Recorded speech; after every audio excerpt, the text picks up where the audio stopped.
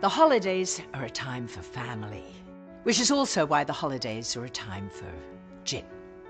That's what inspired my open bottle collection at Aviation American Gin, the highest rated gin in the world. Each piece is designed to elegantly fit around the neck of a bottle of aviation. It's inspired by the bottle of gin I keep in my purse throughout the holiday season. So, if you want to keep your family happy this holiday, bring them something special from my open bottle collection. But also bring the gin. I can't stress that part enough.